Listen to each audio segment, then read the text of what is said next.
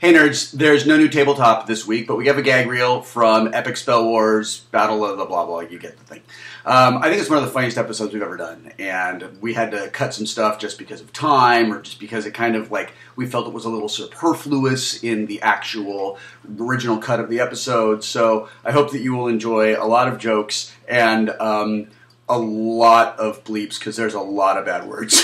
in this, which is what happens when you get Jonah and myself together in the same room and you encourage us to behave like 12 year olds.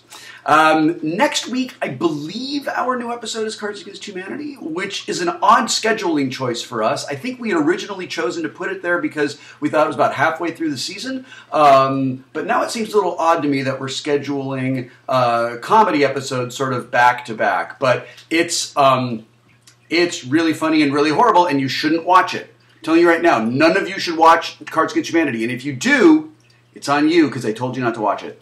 Um, anyhow, uh, thanks a lot for watching, and oh, real quick, if you haven't seen it yet, go to Twitch TV slash Geek and Sundry and check out all the new amazing Twitch programming that we're doing. We have original shows every day of the week new things. Everything from shows about comic books. There's a Dungeons and Dragons game that's happening. There's you know typical gaming stuff that you would expect to see on Twitch. But it's really great. And when we did uh, the charity marathon, I got to meet a lot of our new Twitch programmers, and they're awesome. So it's Twitch TV slash. Uh, Geek and Sundry. I think you're really going to like it. And um, I might just be starting up a little Twitch thing of my own in the near future.